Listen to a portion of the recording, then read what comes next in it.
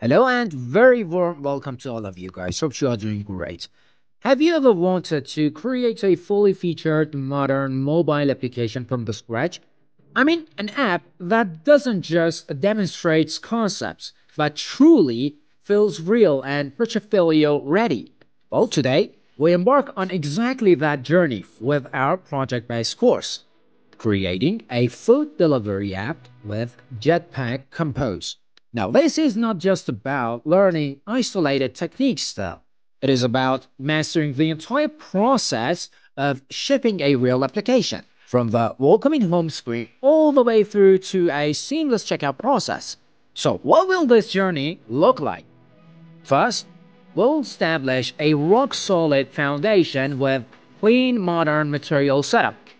From there, we'll bring our app to life by implementing essential features, such as a dynamic banner cursor, an intuitive quick search and category browsing, a performant fault list, and a polished, detailed view for every menu item. However, guys, we're actually going much deeper than just the UI. You'll master professional development practices by implementing robust state management with the view model pattern. Oh, also, we'll connect our app to a live Firebase real-time database to pull in actual data, and we'll engineer a persistent shopping cart that remembers a user's selections between sessions. Now, throughout this process, you'll develop a toolkit of reusable UI components, learn to handle every possible loading, empty, and error states, and at the end, Finish up the experience by applying a dark mode and a final polish. And honestly guys, this is not even the best part. I mean, the best part is that this course is actually designed for everyone.